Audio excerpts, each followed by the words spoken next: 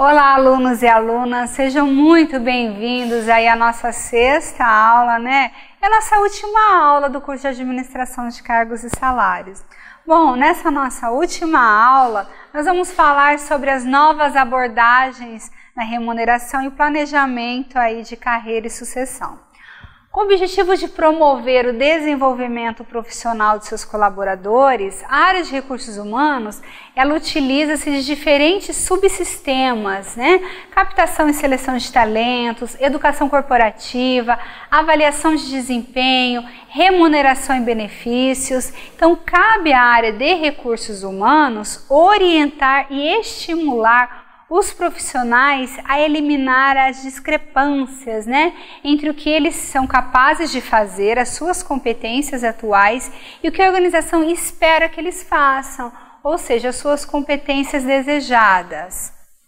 A educação corporativa é o desenvolvimento de pessoas, o resultado aí do mapeamento de competências humanas, ele traz subsídios para a identificação das necessidades de aprendizagem, para a formulação dos objetivos instrucionais, para a definição de conteúdos programáticos, para a construção de trilhas aí de aprendizagem, bem como para o compartilhamento de competência entre as pessoas.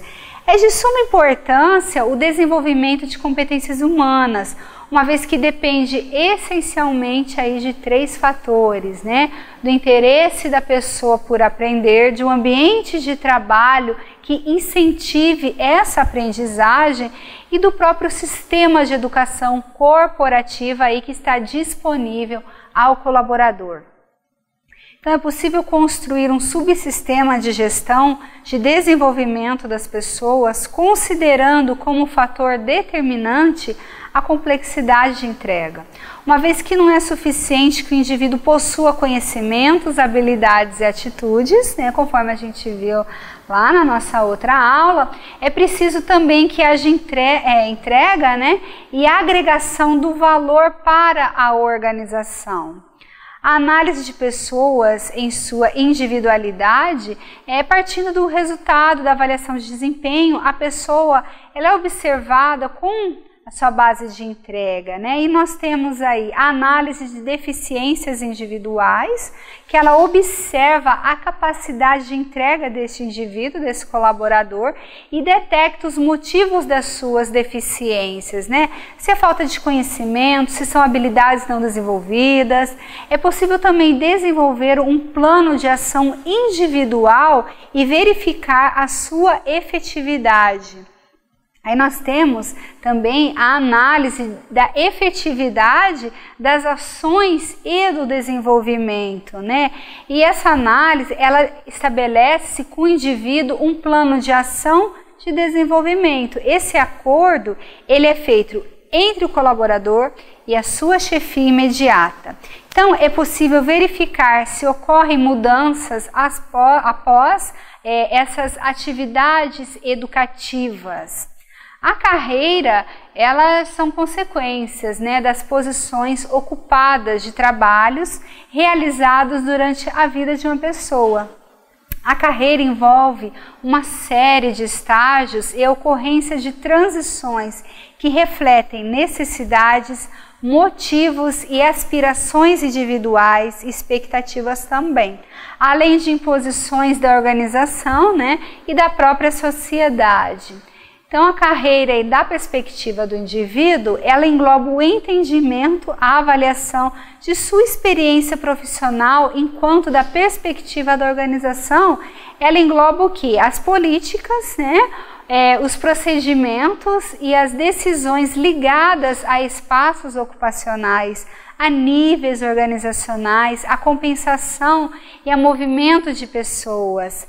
Essas perspectivas, elas são conciliadas pela carreira dentro aí de um contexto constante de ajuste, né, de desenvolvimento e de mudanças, da perspectiva do indivíduo e da perspectiva também da organização. Aí nós temos, importante também, a orientação profissional e a gestão de carreira. O sistema de administração de carreira, ele deve conciliar o desenvolvimento da organização e do indivíduo. Por isso, a definição é, de trajetórias de carreira é importante para a manutenção das vantagens competitivas da empresa.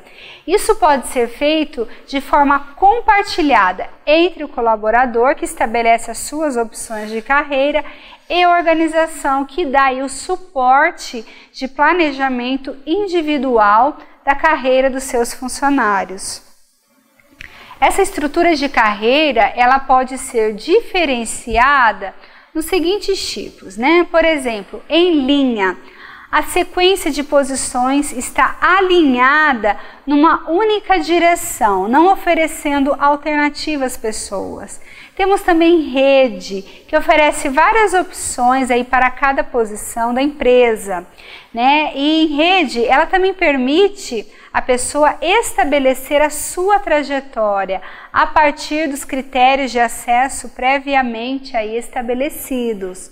Temos também paralelas, né? Os indivíduos, eles, é, eles podem traçar as suas trajetórias profissionais em duas direções, profissional ou gerencial.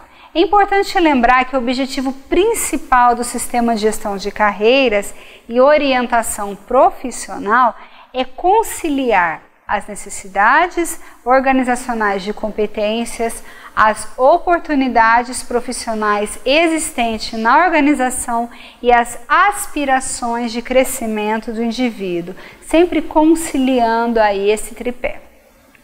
Então, a administração de carreiras, de um lado, ela estimula, né, instrumentaliza aí as pessoas para pensar suas carreiras e seu desenvolvimento profissional e pessoal. E de outro lado, ela oferece à empresa os conceitos é, e o ferramental aí necessário para pensar a gestão de recursos humanos de forma estratégica para, entregar, para integrar o indivíduo é o conjunto das políticas né, e práticas da administração aí de pessoas. O modelo de planejamento de carreira ele deve ter é, como principais objetivos desenvolver nas pessoas um espírito crítico com relação ao seu comportamento diante da carreira. Ele precisa também estimular e dar suporte a um processo de autoavaliação visando ao planejamento individual da carreira. Ele também precisa oferecer uma estrutura de reflexão das pessoas sobre a sua realidade profissional e também sobre a sua realidade pessoal. Ele precisa disponibilizar ferramentas para desenvolver objetivos de carreira e planos de ação para monitorar a carreira ao longo tempo. Então, algumas organizações é, estão atribuindo gradativamente aí a responsabilidade pela administração de carreira aos próprios funcionários, dando todas as condições e suportes possíveis para que eles façam suas escolhas, né, de acordo aí também com seu desejo pessoal, para que sejam bem-sucedidos. O processo aí desse planejamento de carreira ele deve ter a clarificação da identidade individual, a avaliação de pontos fortes e fracos da carreira, análise do ambiente, a identificação de estratégias de carreira que estão ao seu alcance, a seleção dos objetivos de carreira, a implementação da estratégias de carreira, a avaliação de resultados das estratégias de carreira há um conjunto aí de premissas básicas, né, que devem ser incorporadas a qualquer sistema de administração de carreiras.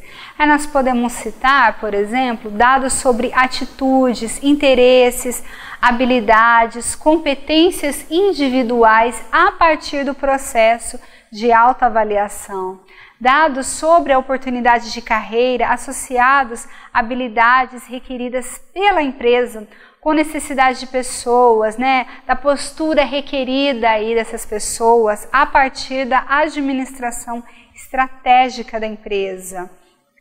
Também é necessário que os sistemas é, eles disponibilizem informações da empresa para as pessoas, né, sobre as pessoas, para a empresa. Também que assegurem é, o diálogo, o feedback entre as pessoas e a empresa, permitindo aí uma conciliação contínua entre a necessidade de carreira das pessoas e as oportunidades oferecidas pela empresa. O sistema de desenvolvimento, ele também precisa permitir que o crescimento pessoal e profissional do colaborador seja compatível com o planejamento individual de carreira. Então nós temos também os principais objetivos aí, né, para a construção de um modelo de remuneração. Esses objetivos nós podemos citar, né, é, equilibrar interna e externamente os cargos em relação às tarefas executadas, conhecer, classificar e atualizar os cargos, criar ferramentas para a implantação de outras práticas e estratégias de remuneração, a redução do turnover e do absenteísmo também tem que estar aí dentre os principais objetivos dessa construção de um modelo de remuneração. E para garantir o sucesso continuado de uma empresa, é necessário determinar quem substituirá eventualmente os funcionários que ocupam, né, neste momento aí uma posição chave. E para isso é preciso um plano de sucessão que tem que ser seguido né, por empresas razoavelmente estáveis no mercado. E um mercado também estável, né, importante, e composta por pessoas dispostas a abrir mão de suas expectativas individuais a favor das expectativas da empresa aí durante um plano de sucessão. Bom, terminamos aqui a nossa última aula do curso de Administração de Cargos e Salários. Não se esqueçam de participar do fórum. Qualquer dúvida, consulte os nossos tutores que estão à sua disposição. É, foi um prazer estar com vocês durante todo esse tempo. Espero que esse aprendizado aí é, vocês possam utilizar no dia a dia, né, essa descrição, essa análise de cargos. Como eu falei para vocês lá quando a gente deu o exemplo do contador, comece fazendo a sua descrição. O que, que você faz né, no cargo que você. Você também pode fazer a questão dos requisitos, das habilidades, né? fazer uma autoanálise aí. A partir disso você pode é, inserir e vai ter com certeza mais conhecimentos aí para o seu dia a dia a partir da sua análise do seu cargo para poder estar tá fazendo aí né, no seu dia a dia como gestor de recursos humanos, como analista aí de recursos humanos ou mesmo técnico, né? Ou se você aí tem interesse em trabalhar com essa área, né? Também pode perguntar aos próprios colegas, fazer essa descrição com eles. E o que, que você faz na sua empresa? Me conta, né? E vai seguindo aquele passo a passo aí para que foi um exemplo para vocês fazerem poder utilizar aí na empresa de vocês, tá? Bom, um abraço pessoal e até a nossa próxima oportunidade.